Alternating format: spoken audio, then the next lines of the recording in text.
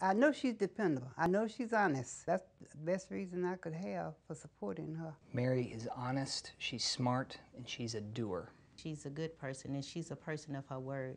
The first time I met her, I saw how interested she was and attentive to each person that she talked to.